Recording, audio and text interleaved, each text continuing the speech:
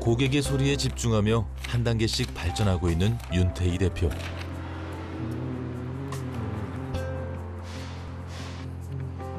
그는 일하는 것이 즐겁습니다. 그때그때 떠오르는 생각을 최대한 빠짐없이 메모하는 것이 발전의 큰 기반이 됐다는데요.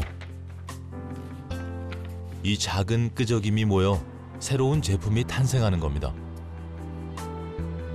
고민의 시간이 쌓일수록 더욱 완벽에 가까워지는 거겠죠. 그는 매일매일 이렇게 고민하며 자신과 회사의 발전을 위해 노력하고 있습니다. 일단 이제 조금씩 그냥 한 번에 다 완벽하게 만들 수는 없고 하나씩 하나씩 해내갈 때마다 이 제품들이 이제 그 세월을 증명을 하는 거죠.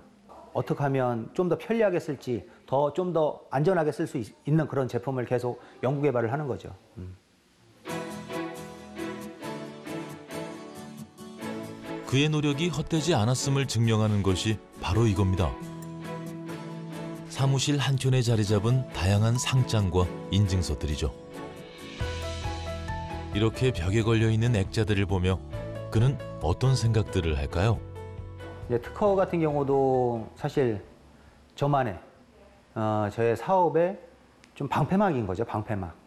이제 저희처럼 영세 기업들을 사실 보호해주는 뭐 그런 게 특허, 뭐 실용실안, 디자인 이런 게 이런 거밖에 없겠다는 생각에 계속 하나 개발할 때마다 계속 낸 거죠. 특허가 됐든 실용이 됐든 디자인이 됐든 그러다 보니 뭐 특허 뭐 여섯 개, 뭐 실용실안 네 개, 뭐 디자인 여덟 개 이 정도 가지고 있습니다.